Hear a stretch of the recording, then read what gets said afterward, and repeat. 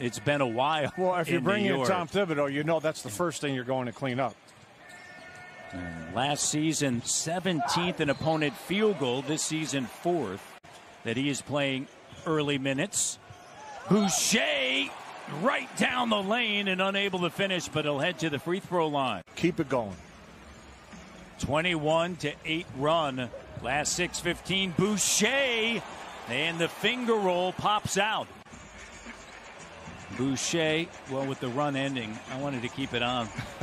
Van Vliet, and it's a 13 2 run.